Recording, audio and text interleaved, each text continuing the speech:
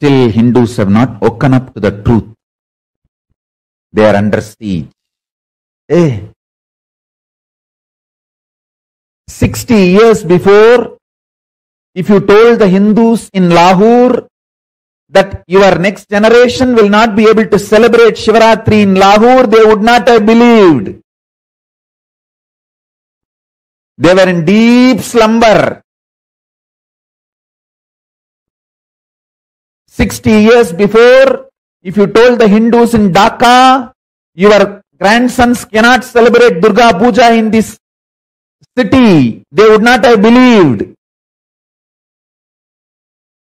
They were in deep slumber. When every Hindu is diluted and converted, it is not we are losing only civilizational nation, we are also losing the territory, territorial nation. When every single Hindu is diluted or converted, we are not only losing the civilizational nation, we are also losing the territory. Hindus wake up. When Tamils are brainwashed to believe they are not part of the Hindu civilization.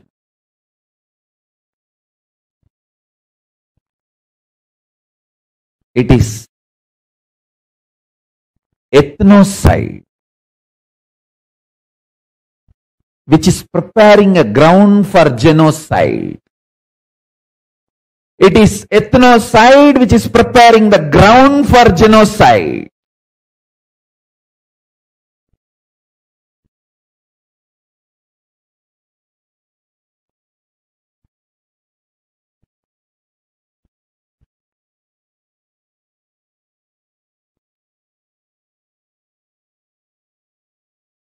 I don't know how many of you know. The fundamental scripture for Adishaivism, Vedas and Agamas, the Kamika Agama, the same is the fundamental scripture for Kashmiri Shaivites. Civilizationally, Adi Shaivites in Kanchipuram, Adi Shaivites in Kashmir are one and the same. Civilizationally, when Kashmir Shaivites started losing their civilization, Kanchi Shaivites kept quiet.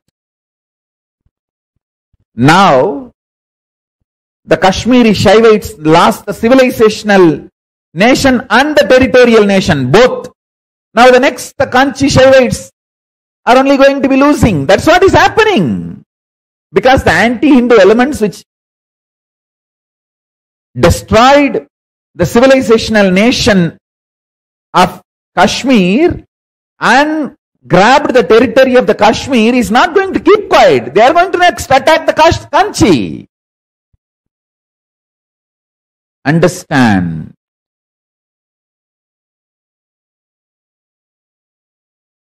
Hindus, wake up. Wake up. Wake up. We have the great responsibility. We have the great responsibility to practice, protect, preserve, and spread the Hinduism, Sanatana Hindu Dharma, the greater science of life. How Jews made Israel for keeping the Jewish tradition alive, Judaism alive, as a seed bank for Judaism.